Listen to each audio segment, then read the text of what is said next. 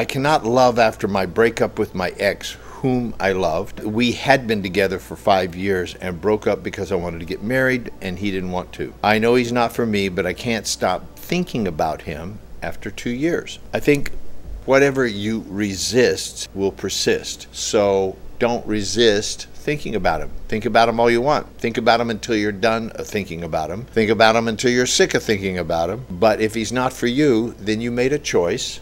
He made a choice, and you made a choice. Okay? What you focus on tends to expand. So if you continue to think about him, then those thoughts and feelings will continue to expand. But if you resist thinking about them, it's like the test if I said, don't think about red. Now, as soon as I said that, all of you that heard that saw something red. You can't think about something, you can't not think about something without thinking about it. You cannot not think about something without thinking about it. Whatever you are resisting, well, you first have to have it present in your mind. That's why those things about stopping smoking, I want to stop smoking, right? Well, how about starting to breathe fresh air? You see, if you want to stop smoking, you have to resist smoking right? So whatever you resist keeps the smoking around. How about if you turned your attention away from that and turned your attention towards gathering lungs full of fresh, clean air? Now, I know that may sound simplistic. However, I have done it and it works. Whenever I need to uh, move on from something, I don't resist it.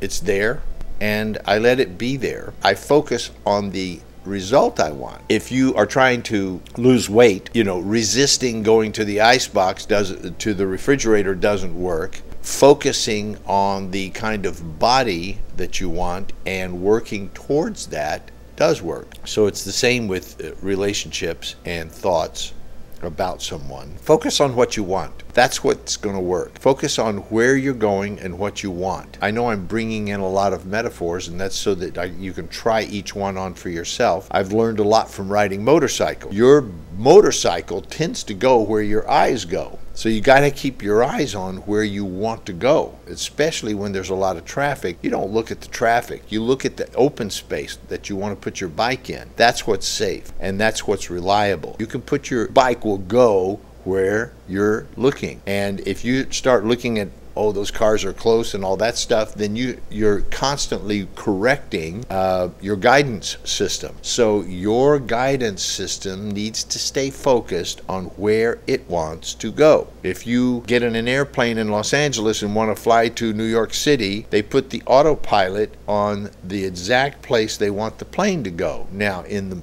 in the meantime, there's winds that blow it up and down and sideways, and I would say probably 98% of the time, plane is actually off course. Plane is constantly going off course, and the autopilot is making millions of little micro corrections to keep it going in the direction that it's supposed to be going. If a plane got one eighth of an inch off track, it could end up in Florida instead of New York. Okay? So it's constantly recorrecting, constantly recorrecting. And that has nothing to do with resisting anything. It has to do with dealing with what's there, allowing it to be there, and keeping your eyes focused on where you want to go. So you said you wanted to get married. If you want to get married, focus on getting married and focus on finding a person that would want to marry you, but also being the kind of woman that any man would would love to marry. That would even be more extraordinary as far as I'm concerned. There are women that hundreds of men want to marry. It's easy to to to find a husband in that in that circumstance. Be that kind of woman.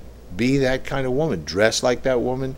Behave like that woman. Become from the inside out. Can't just superficially fake it forever. You have to become the kind of woman that any man would love to have as a partner for his life. As, long as you have your eyes focused in the rearview mirror of uh, your past relationship, then then you're going to have a certain amount of suffering going on, and that suffering would be voluntary. All suffering is voluntary. Pain is inevitable. You're going to have pain in life. It was painful for you to be with someone for five years that didn't want to marry you you. It was painful to have to make a choice to leave that relationship. It may be painful to move on. If you focus on the pain, that's voluntary. Suffering is about focusing on pain. Pain is inevitable. Suffering is a habit. Suffering is just pro prolonged pain unnecessarily.